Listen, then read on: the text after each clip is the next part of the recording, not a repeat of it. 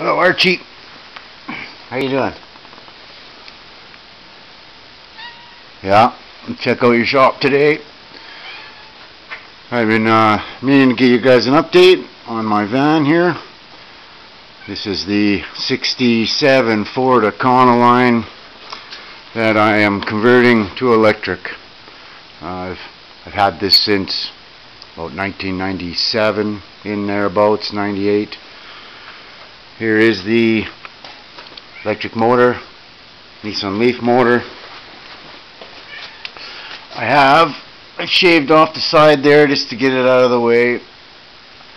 I used a Fiat clutch center and had it machined to fit inside this old Ford drive shaft end and then I uh, tapped and threaded the motor shaft so that I could tighten it all down there. In the end I might Loctite it Hello, Archie.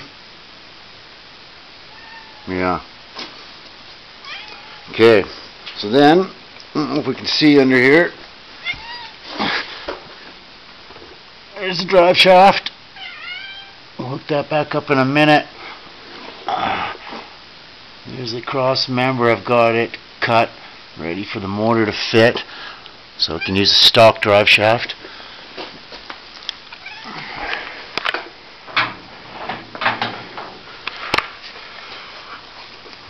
Uh, there's where the battery is going to sit for now. Just makes my life easy. It's going to uh, sit underneath the seats. I'll build some brackets and stuff. And I'll build some stuff to protect all the wiring. In the future I'll plan to stick it all underneath where it belongs. But for now, I just want to get rolling. I want to get learning. And uh, put some miles on this thing so I can figure it out. There's my inverter, charger, and DC-DC and all that. And uh, yeah, that's the van. I'm hoping in the end I'm going to put that turbocharged snowmobile in it and uh, take it up to the hills. So the electric van, turbo snowmobile, should be fun. Here's a look from the back. Not the best lighting.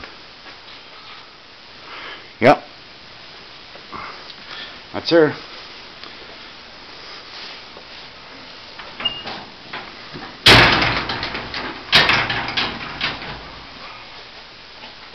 Seats. See the nose of the battery sticking out underneath the seats there. Nothing's mounted yet. It's just all kind of sitting in place.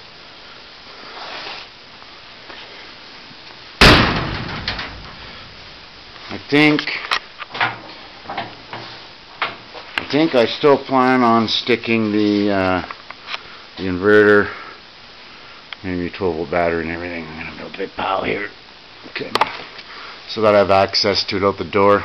Like I say, this this first attempt is mostly about learning and uh, get a get a running van and go from there. I do have an entirely extra second drivetrain I bought two when I was shopping just for fun. So, whatever I learn from this one, I can apply to the next one. So yeah, thanks for checking out my van. And uh, hopefully, hopefully I have something else to show you in the near future. Peace.